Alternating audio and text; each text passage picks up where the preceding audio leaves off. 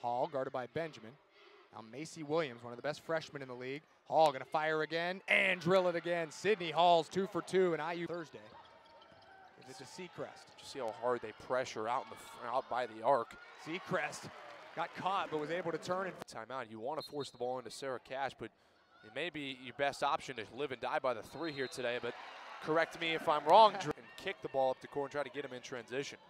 Kelly Wright coming off a season high 22 minutes on Thursday as Tamia Sims answers right back with a two rebound though, grabbed by Chelsea Olsen. So YSU being active on the offensive glass. Now Olsen for three, got it to go. Chelsea Olsen from downtown. And that's what Chelsea Olsen, who hit a big three a moment ago, kicks it out and got it stolen by Danielle Lawrence.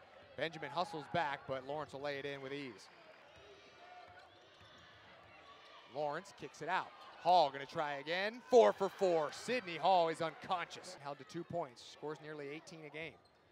Hall kicks it out. Gunn gonna fire again. This time it's good. Jenna Gunn drills it from the wing. which she clearly does not like to work too. Bruner finds Arbanas in the corner. She'll fire for three. Yes, ma'am. Nikki Arbanas with her first triple.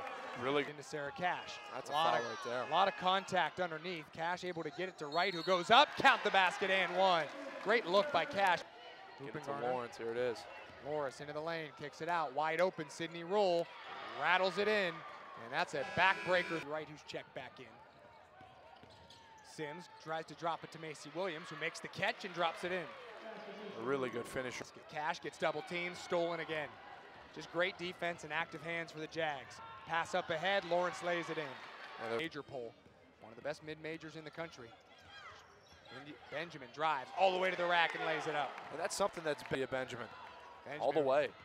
Benjamin into the lane, kicks, finds Bruner, three on the way. Boom! Morgan Bruner from the corner, and the Penguins needed that one. IUPUI looks like one of the best teams in the league. And Sydney Hall again, my goodness. She's got 20. Especially IUPUI.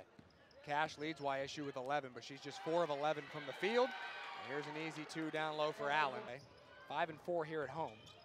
As we mentioned, we'll finish 4 and 2 on their six game homestand. Here's a basket by Mary Dunn. Count the foul. IUPUI dominates and gets the win 65 43 as the Jaguars go to 11 and 3 and 3 and 0 at league play. They remain the only unbeaten team in the league.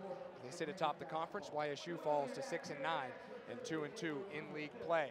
Want to thank our